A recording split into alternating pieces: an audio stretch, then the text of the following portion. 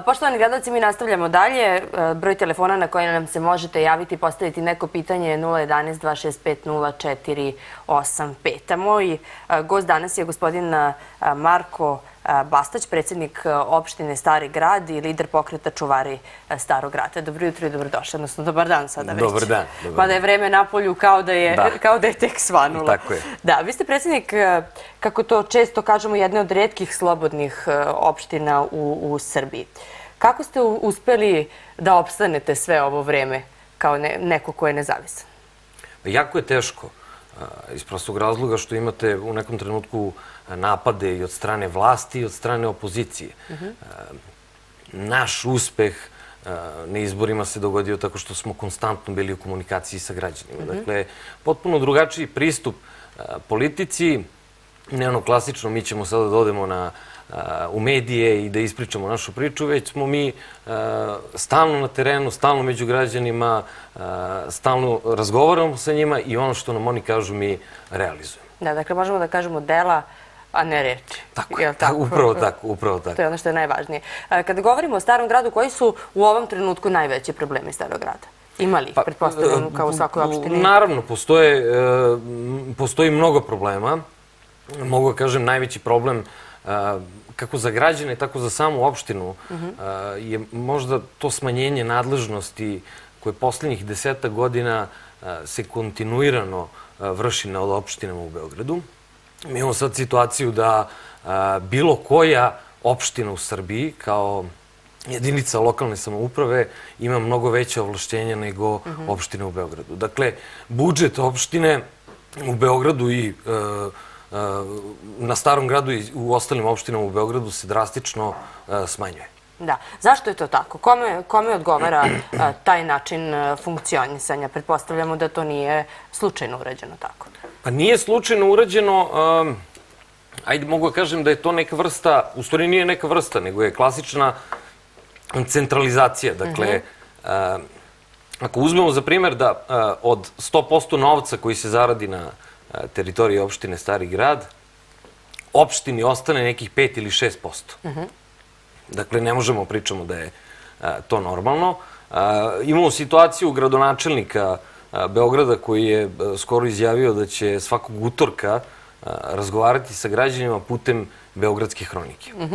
Evo moje pitanje, ja sam gradonačelnika video jednom u životu za ovih godinu i po dana koliko traje mandat, kada namerava da razgovara stvarno sa građanima. Dakle, ne možete vi da razgovarate sa građanima tako što ćete otići u Beogradsku hroniku, dobiti neka pitanja koje ste vi već sami poslali, već morate da izađete na teren i stvarno pričate s tim ljudima. Ne mora on da sluša mene kao predsjednika opštine, šta ja mislim. Neka dođe na Stari grad, neka razgovara sa pravim građanima oko toga šta su stvarno problemi. Da, kako ocenjujete dosadašnji rad gradonačelnika Beograda i mislite li da ukoliko on ponovo bude bio gradonačelnik da će doći do nekog pomaka u Beogradu? Obzirom na to da je, evo nedavno smo juče, ja mislim u novinama mogli da pročitamo da Srpska napredna stranka misli da je gospodin Siniša Mali učinio zaista mnogo za Beograd. Da li je?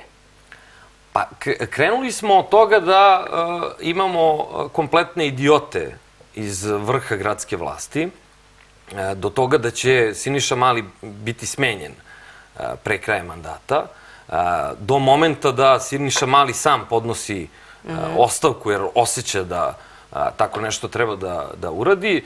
I do ovog krajnjeg momenta da mi sada imamo spotove koji su naplaćeni građanima Beograda, odnosno plaćaju građani Beograda, gde se Siniša Mali promoviše kao kandidat Srpske napredne stranke za, da obnovi mandat gradonačelnika. Mi smo skoro imali jedan regionalni sastanak predsjednika opština i usaglasili smo se da je potpuno normalno, a i to su iskustva iz regiona, da tri godine i deset meseci radite nešto na terenu i da onda poslednjih dva meseca promovišete to u samoj kampanji. Mi u Beogradu imamo potpuno drugačiju situaciju, kao što imamo drugačiju situaciju po pitanju budžeta i po pitanju toga kako se radi. Mi sad imamo blokiran grad. Imamo na deset ključnih lokacija u Beogradu kolaps saobraćeni, zato što neko nije radio tri godine i deset meseci, nego se setio poslednjih par meseci pred izbore da sve projekte započne i da prosto građanima stvori sliku da nešto radi. Da, iznova i iznova se to uh, dešava. Ovo nije samo slučaj pred, pred ove beogradske izbore, već se to uh, događalo i ranije, ne samo na nivou Beograda, već i u čitavoj Srbiji, da uh, se nešto kopa, pa se tamo ponovo asfaltiraju ulice koje možda i ne treba da se asfaltiraju, a da ne pričamo o delovima Beograda u kojima još uvek nema kanalizacije. Dakle, mislite li da, da su građani polako počeli da shvataju šta se zapravo dešava? Obzirom na to da evo deset godina unazad, nećemo samo reći šest, već hajde da pričamo malo, e, malo i, i širu priču, deset godina unazad se to dešava, ali ne pravi se nikakav pomak po pitanju e, nekih konkretnih promena. Očekujete li od građana da će ovoga puta reći pa dobro, nemojte mi asfaltirati e, centar grada po 30. put, hajde da se malo pozabavimo i nečim što, što se ne odnosi samo na ljude koji žive u centru Beograda. Pa nezadovoljni su građani. Ja to vidim u razgovoru, svakodnevnim, e, svakodnevnom razgovoru sa ljudima. E, dakle, e, ne možete vi da donesete odluku da izvodite radove tako što ste vi seli u vašoj kancelariji i rekli ajde sad imamo ne znam koliko novca, pa mogli bi da uzmemo da renoviramo trg Republike ili ćemo raditi fontanu na Slavi ili ćemo praviti gondolu. Nisu ne možete bez struke nešto raditi. Danas, ako konsultujete e, struku, reći vam da svi ovi radovi koji se izvode u Beogradu su potpuno pogrešni, odnosno niko normalan e, ne bi u istom trenutku napravio toliko velike gradilišta da bi mogao u izbornoj kampanji da kaže evo uradili smo nešto. Jesu građani nezadovoljni, e, to se ogleda i na primjeru mnogih stvari koje su uradili u prethodnom periodu. Vi sad imate pešačku zonu koja je nova napravljena na Kosančićevom vencu i na Obilićevom vencu, gde e, niko nije konsultovao građane. Mhm. Niko nije razmišljao o tome da nešto urade tako što će olakšati građanima život, već su samo otežali e, svim tim ljudima e, dnevno funkcionisanje. A ima neko na telefonskoj vezi da imamo ko nam se javlja ovog jutra. E, dobro jutro, dobar dan, poštovanje. Halo?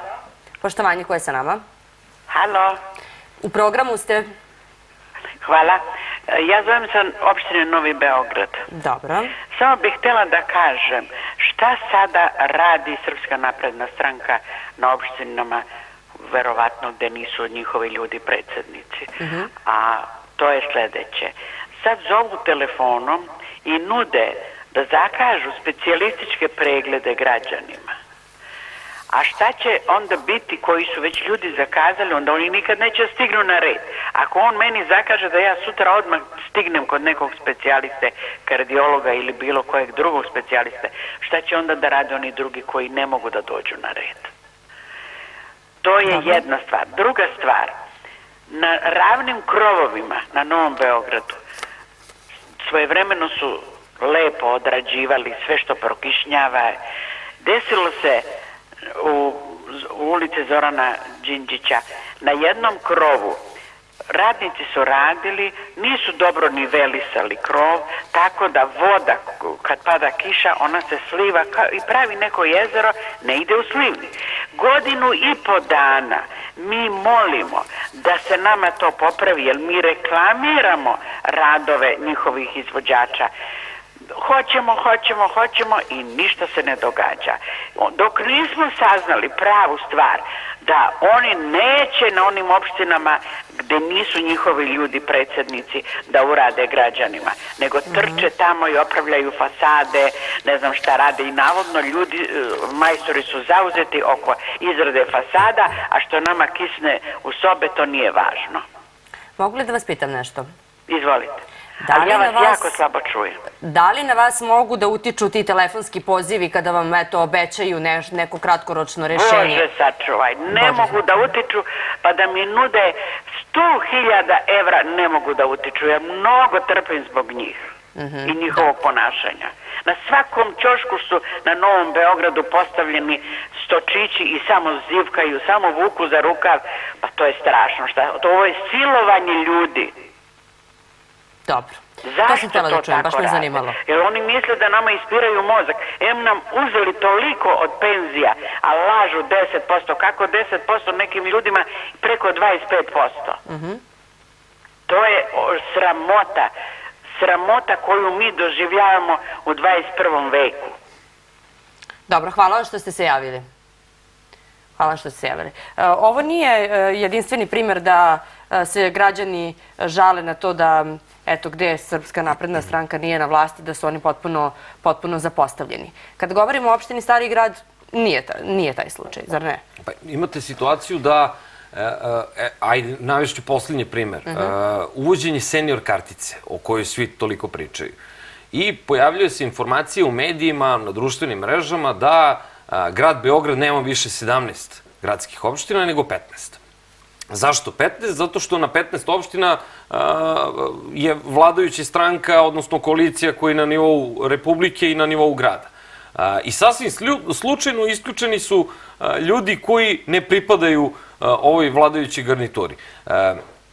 Da bi e, isto tako dan kasnije saznali u medijima da smo mi odbili da učestvujemo u tom projektu iako- nas e, niko nije e, uopšte ni zvao. Dakle, e, da li se vrši neka vrsta terora e, ka nama koji nismo deo vladajuće većine, mislim da je možda to pokušaj njihov, ali se u stvari to sve svaljuje na, na sami građane. Dakle, ti ljudi ne treba da, da ispaštaju. E, ja sam isto tako rekao da je neko pozvao samo, poslao jedan dopis e, da se priključimo samoj akciji. Pa ko sam ja da odlučujem o tome da, e, da neću da dozvolim građanima Starog grada da imaju mogućnost e, da dobiju senior karticu. Meni je isto tako drago što e, se vladajuća većina u Beogradu odlučila na, na potez uveđenje e, kartice kojom bi omogućili e, penzionerima neke vrste pogodnosti. E, moram samo da skrenem pažnju, mi tu karticu imamo već dve godine sa mnogo većim brojem popusta i ne odnosi se samo na penzionere, već na sve građane opštine Stari grad. Tako da, ukoliko žele još da se ugledaju na opštinu Stari grad, slobodno mogu da prošire program na sve građane u Beogradu. Mogu to da urade, da. E, Dobar dan, poštovanje. Dobar dan. Poštovanje, ko je sa nama? Ja sam deda Todor iz, no- iz Novog Beograda, blok 45. Poštovanje, Todore, kako ste? Ovaj, molim vas, recite tom predsjedniku Siniši da svi blokovi koji su greju iz, iz toplane po 28 stepeni imamo u prostorijama, otvaramo prozore, a on kaže 28 smo povećali gaz. Ja ne mrzim tu, sta, to, to, tu stranku, novu, kako se zove, ali stvarno rasipaju, grejemo ulice prenesite im tamo da, da, da grejemo ulice, da velika je temperatura u svim. Vi dođite pa mjerite. Evo dođite kod mene, imam ja temper, termometar. Hvala vam, prenesite gradskim vlastima da raspaju po ulici energiju. Dobro, hvala što ste se javili. Možda najbolje da gledaju Beogradsku hroniku pa tamo da... Pa da, da se jave u Beogradskoj hronici, ja bih volio da prenesem uh, ovo gradonačelniku, ali kao što sam već rekao, uh, imali smo samo jedan susret za ovih godinu i po dana. Ukoliko mi se ukaže prilika do, do održavanja izbora, ja ću svakako mu prenesem ovu poruku. Da, da ne greje ulice. Da, da ne gre ulica. E, Gospodine Pastać, evo, pobedu na opštinskim izborima ste ostvarili, e, e, ostvarili ste sa svojim pokretom nakon što ste napustili e, DS. I to je bio jedan onako od burnijih tih političkih e, rastanaka. Zašto ste se uopšte opredelili za taj potez? To je ono što sam pričao na početku. Postoji e, razlika, me- menja se e, sam politički sistem. Dakle, ne možete vi više e, putem medija imati jedinu komunikaciju sa ljudima. Došlo je do razlaza koji je ispao buran, nažalost, iz prostog razloga što po- postoji kod nekih ljudi određena vrsta agresije. E, Dakle, političari danas generalno šire e, tu agresiju svojim raspravama, onda se mi pitamo a, zašto imamo nervozne vozače, zašto se pojavljuju snimci gde e, postoji vršnjačko nasilje. U stvari to sve dolazi e, putem mediji i širi se dalje. Dakle, nisam pobornik e, te teze da to treba budu vatrene rasprave, e, već nešto potpuno civilizovano. Ja sam pokušao u tom odlasku da a, to izgleda sve e, što normalnije, rastanu se ljudi, to je potpuno normalno. A, prosto nisam mogao više da budem u sistemu a, koji je mene kočio. A, ja sam pokušao da, da unesem neke promene, očigledno je bilo mnogo više kočničara i to nije uspelo. Ja sam nastavio sa, sa pokretom čuvari starog grada i a, u ovom trenutku a, to odlično funkcioniše, ne postoje nikakve barijere. Da, bolje dobar razvod, je li tako, nego, E, nego loš brak, da, metaforički, da. metaforički rečeno. E Sad, um, u Demokratskoj stranci pominjali su se neke menice bez pokrića, kojima ste navodno uh, bez ovlašćenja finansijski opteretili tu stranku. Sad ja moram da vas pitam, da li je to tačno? Šta se zapravo dogodilo? Pa to nikako nije, nije tačno, prosto e, nisu ovo 60. godine prošlog veka da neko izda menice bez pokrića. Prosto postoji neka banka, postoje neke institucije koje kontrolišu to.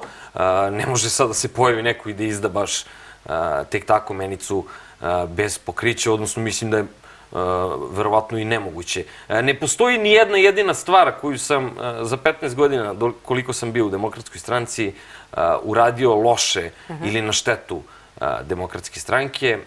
Mogu, da da kažem da sam mnogo više dao demokratskoj stranci. To su, da vam kažem, optužbe ljudi koji su se našli uvređeni u tom trenutku, koji pokušavaju da pokriju svoj nerad lažnim optužbama. A u kakvim ste sada odnosima sa Demokratskom strankom i ljudima koji rukovode njom? Pa imam korektan odnos sa ljudima s kojima sam i sarađivao dok sam bio u demokratskoj stranci. Sa onima s kojima nisam sarađivao ni dan danas. Ne mogu da komuniciram, prosto a, ne zato što sam ja problem, nego ti ljudi jednostavno ne razumeju da neke stvari e, je potrebno reformisati. Ja sam pokušao na mnogim organima unutar demokratske stranke da reformišem sa ljudima demokratsku stranku, međutim nekome odgovara da demokratska stranka u ovom trenutku juri nekih 5% a, i da pokušava da pređe cenzus. Meni je žao zbog toga, ali prosto putevi su nam se razišli. razišli. Moram sad da se malo i našalim, ali zapravo možda tema i nije za šalu, ali često ljudima kroz, kroz smeh možemo da prenesemo i neke važne poruke. Pa da uporedim evo za gospođu Miru Petrović iz, iz Pupsa, napadaju da je zaposlila svoju čitavu porodicu koja uzima neke silne milione. Uh, Svojevremeno su i vas napadali da ste zaposlili kumove, braću, sestre i tako dalje. Jeste li? Nisam. Stvarno? Nisam, stvarno nisam. A, odmah da vam kažem, postao sam predsjednik opštine 2016. godine, u maju mesecu. A, ti ljudi su radili što u opštinskim preduzećima, u nekim državnim preduzećima, par godina pre toga. Pa ukoliko sam ja to sad, ako je moguće uraditi tako nešto, evo onda sam kriv. Prosto ne stoji ta činjenica da sam ih ja zaposlio, niti sam mogao fizički to da uradim, odnosno da vratim samo vreme. Postoji napad isto tako i na listu koju sam ja predvodio, jer su im smetali ljudi koji su članovi moje porodice, koji su, kako vam kažem, vi na lokalu izladite sa određenom vrstom politike. A, možete se sakrijeti iz lidera stranke, a možete i da se predstavite. Dobro. Mi smo se predstavili. E, prva fotografija, odnosno prvi letak koji je izašao je bio letak e, ljudi mog najbližeg okruženja. Da li tu ima članova moje porodice? Naravno da ima, oni me prvi podržavaju u ovome što ja radim i prosto ja ne mogu njih da kaznim ukoliko i oni žele da se bave ovim poslom. Dobro, potpuno nekako i logično, da tako kažemo. Pomenuli ste da se mnogi kriju e, iza te takozvane liste. Šta očekujete, ko će biti na listi Srpske napredne stranke na ovim izborima? Pa stiče se, stiče se utisak da će, uh, kao i na svim prethodnim izborima, uh, nosilac liste i jedini kandidat kao i na svim prethodnim izborima, biti ponovo Aleksandar Vučić. Dakle, e, pričali smo ovo oko Siniše Malog, podnosi ostavku, ne podnosi, smenjuju ga, ne smenjuju ga. Vi sada imate prosto situaciju da niko od tih ljudi ne sme javno da se eksponira. E, Možda zato što nisu radili svoj posao dovoljno dobro da građani sami to prepoznaju da glasaju za njih. Dešava se konstantno godinama unazad da se kriju iza a, lidera stranke, što generalno je pogrešno i sam izborni sistem je a, pogrešan. Vi glasate za listu a, sa imenom nekog lidera. Nemate više situaciju kao ne- nekada što je bilo, ja mislim, do 2004. godine da možete direktno da birate i gradonačelnika i vašeg odbornika. Mislim da je to sistem koji prosto treba se vrati, da je važno a, ja znam da to smeta političkim strankama, jer se tako prave neki a, lokalni lideri na koje oni ne mogu onda utiču, nego direktno glasaju građani, ali jednostavno da bi svima bilo bolje u njihovim sredinama, ne smemo više da dozvolimo da se postavljaju neki ljudi za koje ne znate, već da ih sami građani biraju. Da ima neko na telefonskoj vezi. Dobar dan, poštovanje. Dobar dan, e, Tamara na telefonu sa Starog grada. Poštovanje. Želim da pozdravim predsjednika a, i da mu postavim jedno pitanje. Naime, a, u našoj zgradi je okačeno protekle nedelje jedno obaveštenje od opštine i prvo da vam se zahvalim što ste okačili to obaveštenje, a tiče se izbora upravnika zgrade. I u tom obaveštenju piše da je rok 12. decembar. A ako ne izaberemo, onda će biti postavljena neka prinudna uprava.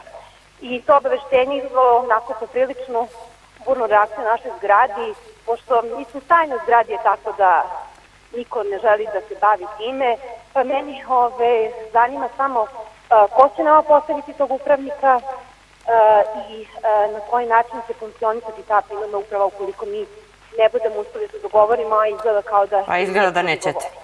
Da. Hvala vam, Tamara, što ste se javili. Hvala. Mi smo trenutno u procesu obaveštavanja stambenih zgrada da je rok a, 12. decembar sa indicijom da će biti produžen rok do kraja godine kako bi formirali stambenu zajednicu.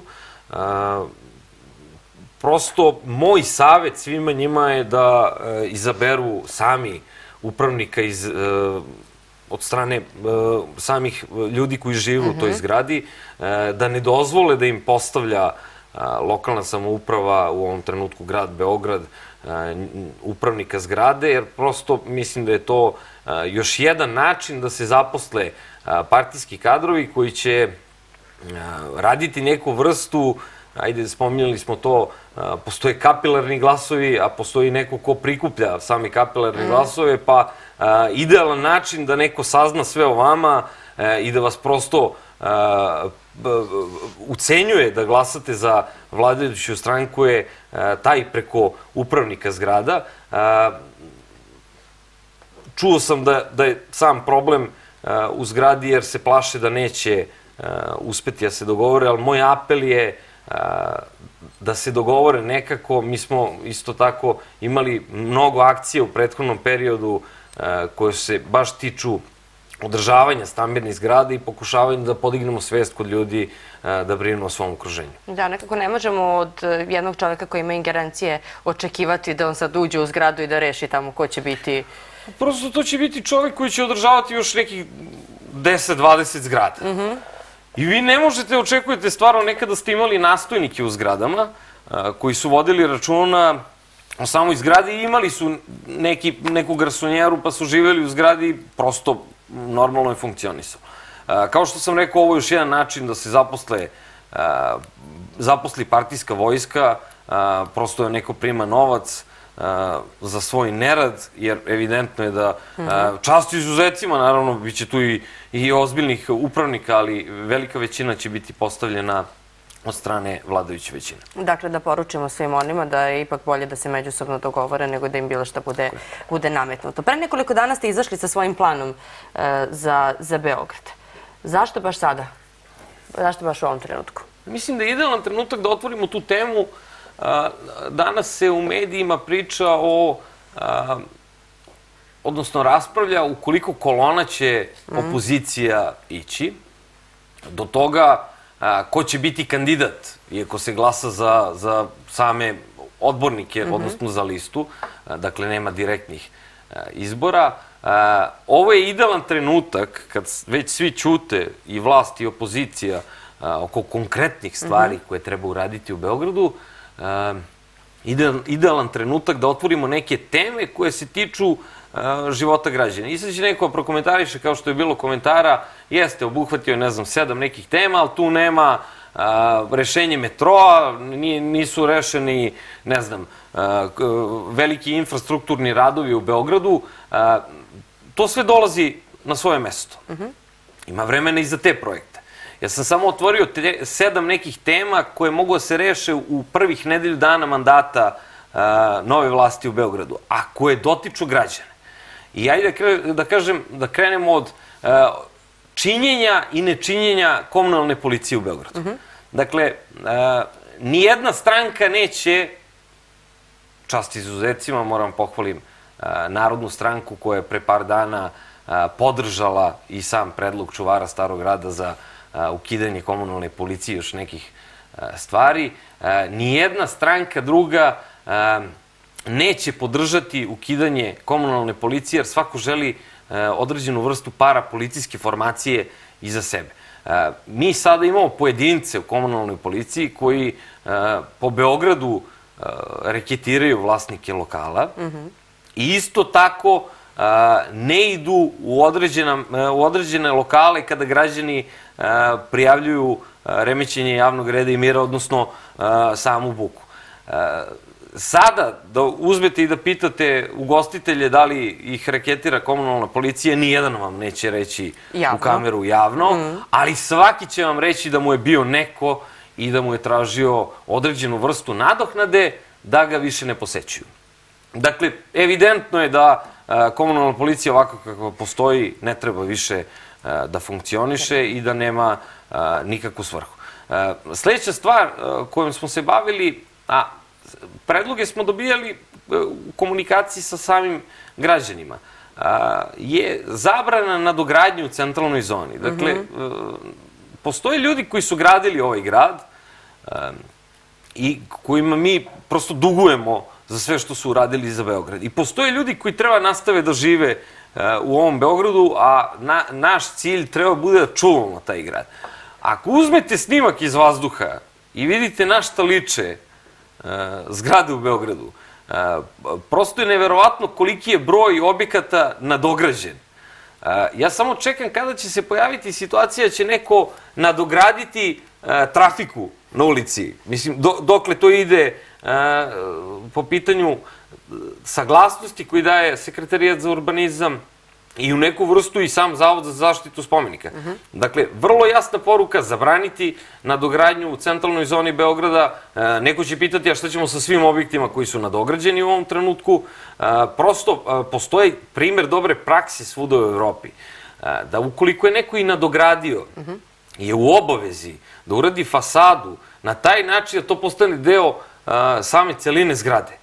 Dakle, da to ne izgleda kao objekat koji a, viri, odnosno da mi na, na, zgradama u Beogradu imamo pečurke.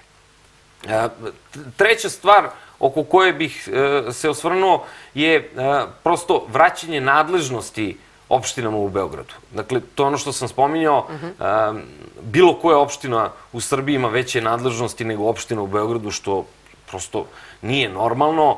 E, sami budžeti opština e, su e, toliko mali da prosto sistem kakav trenutno funkcioniše služi da zaposlite partijske kadrove i vi sad u Beogradu imate 17 opština i mogu slobodno kažem ljudi uglavnom znaju 3-4 e, predsednika. E, Postoji mnogo veliki broj ljudi koji ne znaju na njihovoj opštini ko je predsednik e, opštine, jer prosto to je neki partijski e, vojnik koji eto prima platu i ne radi ništa. Dakle, jako je važno i zbog samog sistema glasanja i zbog toga šta neko može da uradi za same građane.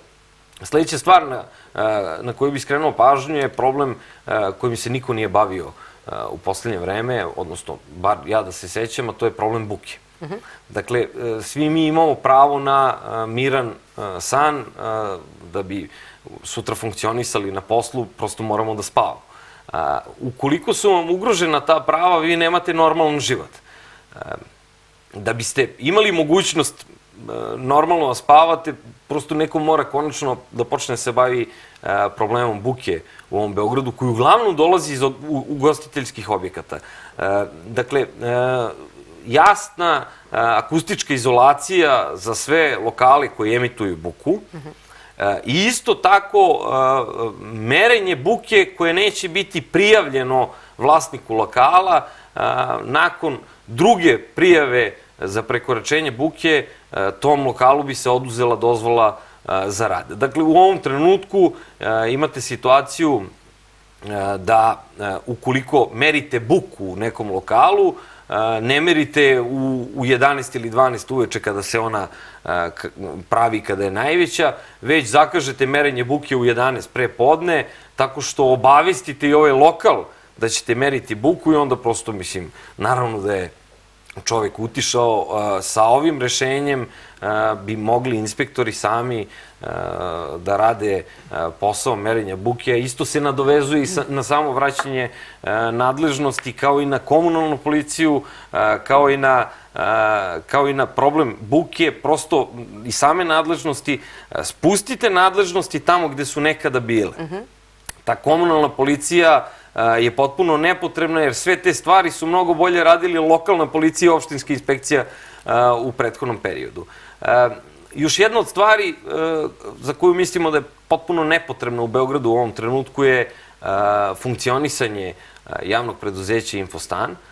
Dakle, to, to, je pro- prosto nekih 200 e, zaposlenih ljudi koji u ovom trenutku primaju platu da sabiraju račune drugih preduzeća. Zašto mislim da Infostan ne treba postoji? Ne samo zato što oni sabiraju te račune, već prosto vi usporavate na taj način sistem naplate drugih javnih preduzeća jer ste vi uslovljeni, jer čekate da neko plati, pa je platio za, ne znam, 10 e, preduzeća. Na početku je distribucija bila u sistemu Infostana kada je on nastao i vrlo brzo, posle par meseci, su izašli iz samog sistema jer prosto su previše dugo čekali da bi uspeli da naplate novac. I u ovom trenutku e, prosto e, mislim da, e, da da je nepotrebno samo e, preduzeće Infostan.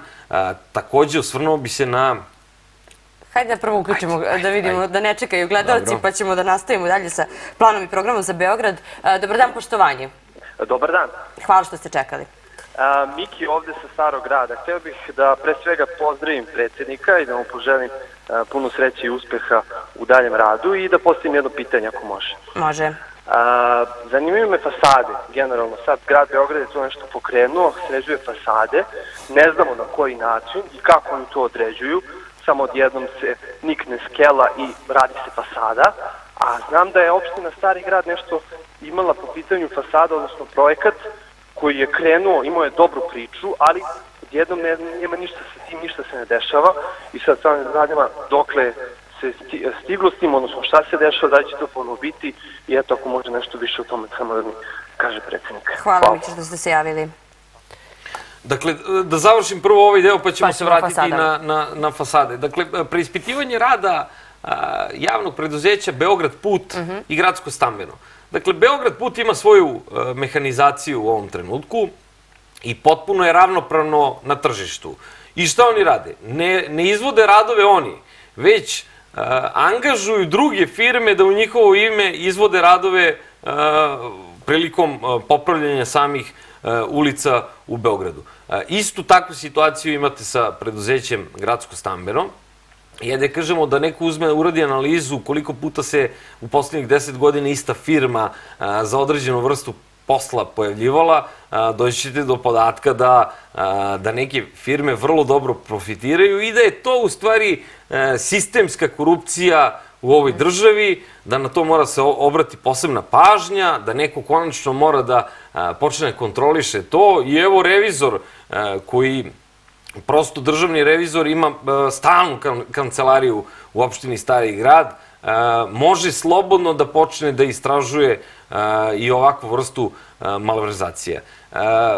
Šesta stavka kojom smo se bavili su referendumi o trošenju novca. Dakle, Švajcarska je poznata po tome da se građani pitaju za ključne stvari u njihovoj zemlji. I neko bi sad rekao, nemojte, molim vas sad, Švajcarska, poredite, da. Beograd, ne možemo se poredimo, ali daću vam primer. Mi u Šapcu u ovom trenutku imamo referendum po selima kako će se trošiti novac od poreza na imovinu. Dakle, ljudi koji su svakako uplatili svoj porez na imovinu, grad Šabac i vraća taj novac da odluče šta je najbolje u njihovom okruženju. I naravno, kada se ovo pojavilo, neko je odmah skočio i rekao je, pa ne, sad, sad ćemo mi da pustimo, ne znam, svakoga da odlučuje o velikim projektima u Beogradu. Postoji e, deo novca koji grad Beograd izdvaja za te velike projekte i naravno postoji i deo novca e, koji e, o kom sami građani treba da odlučuju u svom mikro okruženju šta je za njih prosto najbolje uraditi i šta će im doprineti u samom poboljšanju života. I sedma stavka se tiče dece koji imaju smetnje u razvoju, majke koji imaju troje i više dece. Prosto mislim da se ovo društvo ne bavi dovoljno ni inkluzijom, a ni puno su nam usta o, o natalitetu i o problemu sa natalitetom u Srbiji. Prosto ne postoji ni jedna konkretna mera, niti vrsta pomoći, osim da to neko eto, spomene u nekoj emisiji iz tih samih udruženja. Dakle, sa, sama država mnogo više mora da se uključi u ovaj proces. Kako, na koji način? Pa, prosto, morate, moraju da postoje određene vrste olakšica, ajde da kažemo, za, za majke sa sa troje dece. Vi morate da imate neku vrstu olakšice. U Crnoj Gori ste imali primer da su majkama sa troje dece dali penziju. O čemu isto treba razmisliti. Ne kažem da je to predlog. Treba razmisliti o tome. Dakle, ako mi imamo problem sa tim da nema dovoljno Srba i da smo nacija koja izumire, onda moramo da imamo neke konkretne mere. Šta radimo povodom toga? Kada su u pitanju deca sa smetnjama u razvoju, mislim da sam proces kako ih uključujemo u okruženje mora da bude intenzivniji. Dakle, mnogo više moramo mi svi da se posvetimo njima i prosto da im omogućimo im život bude bar malo lakši. Vratit ću se na pitanje gledalca po pitanju samih fasada. Mi smo odavno još započeli akciju uređivanja zgrada na Starom gradu. Dakle, od nekih 1800 zgrada na Starom gradu mi smo uredili preko 1000 kroz sitne popravke. I krenuli smo sa samim sređivanjem fasada. Radili u nekom trenutku, mogu da kažem, 16 ili 17 fasada, do trenutka dok se nije pojavio državni revizor i rekao zabranjeno je da radite fasade iz prostog razloga što uvećavate vrednost imovine tih ljudi koji žive u tim zgradama. Dobro. Danas imamo situaciju da grad Beograd, opet ponavljam, budžet opštine Stari grad je bio pet puta veći pre dve godine nego danas i većina tog budžeta se izdvajala za ovakve vrste radova. I mi uopšte nismo gledali na sređivanje fasada kao estetski moment u celom tom procesu i jeste i on važan. Ovo ipak Stari grad je ogledalo cele zemlje. Već smo gledali i bezbednostno da pokrijemo, odnosno ima mnogo fasada na Starom gradu koje su sklone padu i gde može doći do ozbiljnih povreda. Grad Beograd je nakon što je oduzeo novac nastavio sa samim projektom fasada, ali se ne bavi bezbednostnim momentom, po pitanju sređivanja fasada već sređuju u nekim pešačkim zonama gde prosto su preduzeće i firme, oni sređuju tamo fasade, ne, ne rade fasade na one koje su sklone padu i one koje su stvarno problematične na starom gradu. Ja bih se vratila na vaš program za Beograd i moram da vas pitam da li vi ovim planom praktično ističete vašu kandidaturu za gradonačelnika? Ili ja grešim? Pa prosto ne mogu da pričam o kandidaturi jer uh, bira se lista. Tako Dobro. da uh, ja sam kandidovao program. Uh -huh. a, baš iz razloga što niko u ovom trenutku nije a, kandidovao program, program, prosto hoću da nametnem, a, kad već svi u opoziciji ćute, a, hoću da nametnem neke stvari koje su, kao što sam rekao, jako važne ljudima i u prvih nedelju dana ovih sedam stvari mogu da se a, realizuju u Beogradu. Da, ne pričamo o kolonama, o, o kandidatima i ostalim stvarima, hajde da nametnemo to konačno, da ne pričamo o tome ko je kandidat i vlasti, i opozicije, i ukoliko kolona će ići, nego hajde konačno nametnemo to da se priča konkretno o politikama i šta, a, i šta i na koji način možemo da pomognemo samim građanima. Da, ali pretpostavljam da ne možete e, potpuno sami da krenete u realizaciju ovog programa. Da li postoji neko ko je prihvatljiv za dijalog? Evo, malo čas ste pomenuli Narodnu stranku koja je prihvatila, tačnije podržala neke, neke od, od ovih stavki. Postoji li još neko osim njih?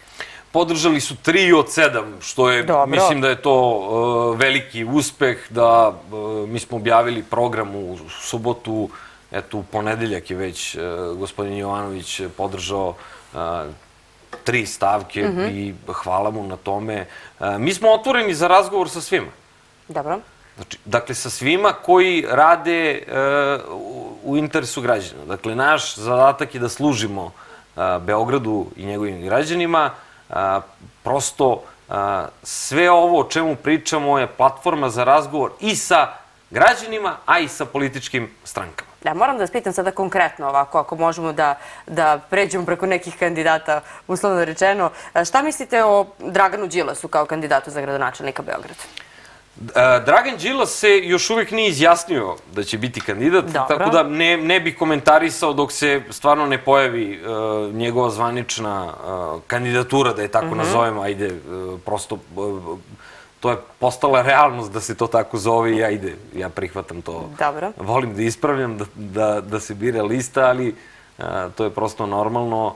E, I možda je, e, možda je to tema baš ono čemu sam pričao, vratimo sistem direktnog odlučivanja. Dobro, ali Aleksandar Šapić se izjasnio da će se kandidovati samostalno za gradonačelnika. Aleksandar Šapić se izjasnio, mi smo imali e, odličnu saradnju još iz vremena dok smo obojice bili članovi demokratske stranke A, i mislim da je on e, jedan od predsjednika opština u Beogradu, a i generalno u Srbiji koji su e, za primer, tako da e, ima e, bogato iskustvo u radu gradske uprave i bogato iskustvo e, u opštinskoj e, upravi, tako da e, mislim da će biti ajde da kažem, iznenađenje na, na samim izborima. Da. Vesna Rakić?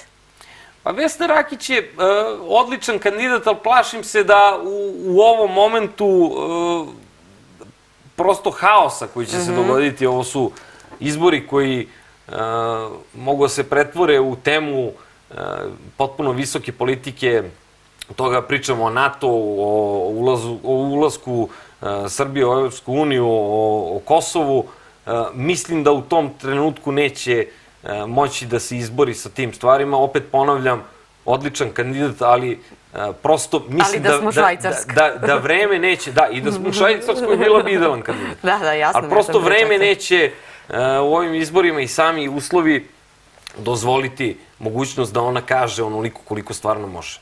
A može. Da, pominje se i Čedomir Ivanović kao potencijalni kandidat za gradonačelnika.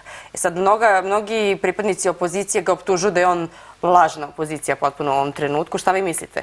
Da li je lažna opozicija i kako je vaše mišljenje o njegovoj eventualnoj kandidaturi gradonačelnika? Imamo sad primere, uh, ajde kažem, uh, primere gde uh, liberalno-demokratska partija učestvuje u vlasti. Dakle, na Vračaru je u vlasti sa Srpskom naprednom strankom, a, na Starom gradu u vlasti sa nama.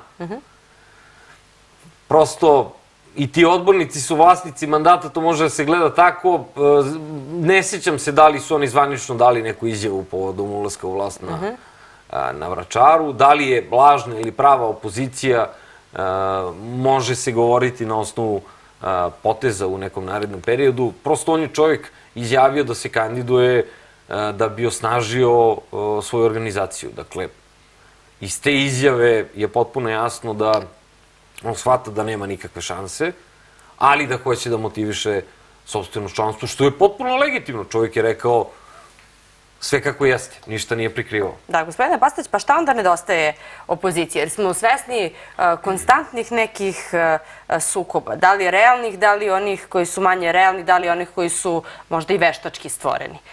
Šta u ovom trenutku nedostaje opozicije da bi se ona ujedinila i bila jedna ta kolona u kojoj se toliko priča? Pa da ne pričaju svi članovi opozicije tako, ali dobro. Opozicija konačno mora da shvati e, da imaju šansu da pobede. Opozicija se sve vreme ponaša kao da nema nikakvu šansu na ovima i na narednim izborima da pobede. Dakle, kada bi malo spustili sujetu svi iz opozicije i počeli normalno da razgovaraju, Dobro. A ne da gledaju koliko će ko mesta dobiti na listi, onda bi imali realne šanse da pobede. Dakle, opozicija mora se usaglasi oko izbornih uslova u ovoj zemlji. Mora se zalaže za fair i poštene izbore gde svi imaju jednaka prava da učestvuju. Opozicija e, mora jasno da stavi do znanja svakome ko se vodi kao kapilarni glas da sutra kada se promeni vlast će odgovarati zato što je pristao da bude ucenjen, a, neki ljudi iz vlasti ucenjuju ljude gubitkom posla i raznim drugim stvarima i teraju ih da postanu kapilarni glasovi. Dakle, sve su to stvari oko kojih opozicija mora da se usaglasi i da konačno, kao što sam rekao, krene napred i da odlučno ide u pobedu. Evo za kraj našeg razgovora jedna poruka a, svim građanima Beograda, ali prvenstveno svim onima koji žive na opštini Stari grad. E, verujte u sve ono što e, radimo, e, sve radimo u, u, u prosto komunikaciji sa, e, sa građanima, nismo ona vrsta e, administracije opštinske koja sedi u kancelarijama, prosto građani znaju e, specifičnost toga da u mojoj kancelariji čak nema ni vrata, tako da verujte u nas, jako je teško opstati u ovom sistemu, mi ćemo se izboriti i zajedno ćemo uspeti da napravimo rezultat. Za kraj, evo još jedno pitanje. Šta očekujete? Šta će se dogoditi na beogradskim izborima? Ja verujem da, da će doći do, promene, e, da će ovih sedam stvari koje smo predložili kao prvih biti realizovane u prvih e, nedelju dana a, mandata. Hvala vam što ste odvojili vreme i bili moj gost danas. Hvala vama. E, Poštovani gledalci, evo na samom kraju naše današnje emisije ja ću još jednom da vas podsjetim koje su maksimalne dnevne temperature danas u sledećim gradovima. Dakle, u Subotici 7, Novi Sad 8, Beograd 10, Kragujevac 11, Loznica 7, Užice 8, Niš 13, Negotin 6, Sjenica 8, Vranje 11 i Priština 11 stepeni. Dakle, ovo su maksimalne dnevne temperature danas. Meteorolozi kažu e, da već u nedelju možemo očekivati formiranje e, snežnog pokrivača, tako da ukoliko se niste pripremili za pravu zimu, e, mislim da je onako posljednji trenutak da to e, i učinite. Meni ostaje da se zahvalim evo za početak mojim sponzorima za ovu divnu haljinu zadužen butik e, Max koji se nalazi u Sukačeto broj 2 u Pančevu, ali pre svega e, hvala vama što ste i danas bili sa nama u tolikom broju. Hvala vam što nas zovete, što nam sugerišete, što nam dajete kako pozitivne, tako i negativne kritike, mada je ovih drugih mnogo manje i veoma se radujem zbog toga. I sutra se vidimo sa početkom u 10 časova. Veoma interesantni gosti. Ja ću vam otkriti da će mi se sutra pridružiti e, gospodin Vuk Jeremić, predsjednik Narodne stranke, tako da e, ukoliko imate e, bilo kakvo pitanje možete nam se javiti i eto mi ćemo tu da biti tu da negde prenesemo vaš stav i sva vaša pitanja na koje ćete sigurno dobiti odgovore. Ja vam želim da prijatno provedete ostatak dana kao uz ljude koje volite i uz ljude koji vole vas. Doviđenja.